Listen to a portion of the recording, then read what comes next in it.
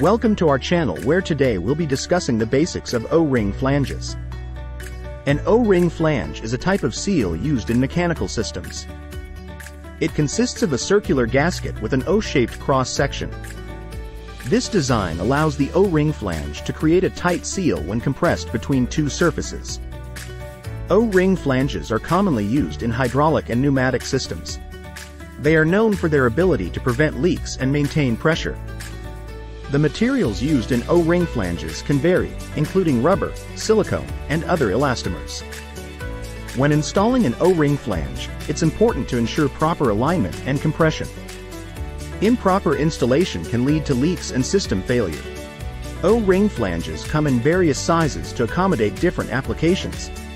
These are just a few examples of the types of O-ring flanges available and their common uses.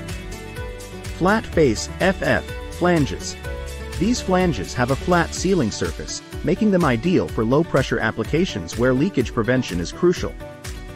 Raised face RF flanges. With a raised ring around the sealing surface, these flanges offer improved sealing in high-pressure, high-temperature applications. Ring-type joint RTJ flanges. Featuring a groove with a metal ring gasket, RTJ flanges provide excellent sealing in extreme conditions like high pressure and temperature. Tongue and groove flanges. Featuring a protruding tongue and matching groove, they provide a secure seal for alignment and vibration resistance. Weld neck flanges. Designed for butt welding to pipes, they offer a strong, leak-proof connection for high-pressure, high-temperature applications. Slip-on flanges.